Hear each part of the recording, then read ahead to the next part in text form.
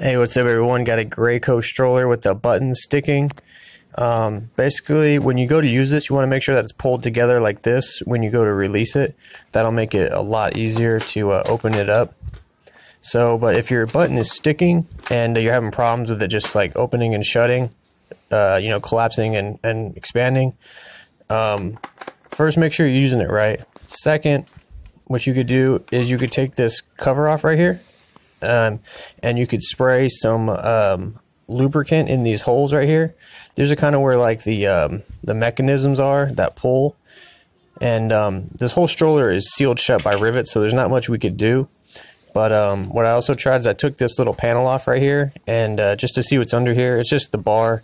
Uh, you could put some lube right there, like maybe some um, just regular lubricant also, if you want to pull these back right here, there's a hole right there, and you could spray in some liquid lubricant right there to the uh, the lever mechanism. I use a liquid wrench and with a straw on it. It's such a tight little area, you gotta have a straw on your on your sprayer.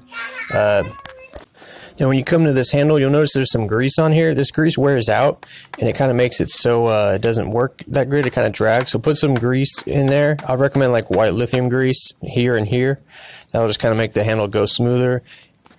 And then um, on top, this button right here, if you spray a little grease in here, that'll make that button slide better. It's all about just like making all these things like quit dragging because they all drag a little bit and it adds up, causes it to be kind of resistant when you're using it. But that's what I did. So I hope this video helps you out.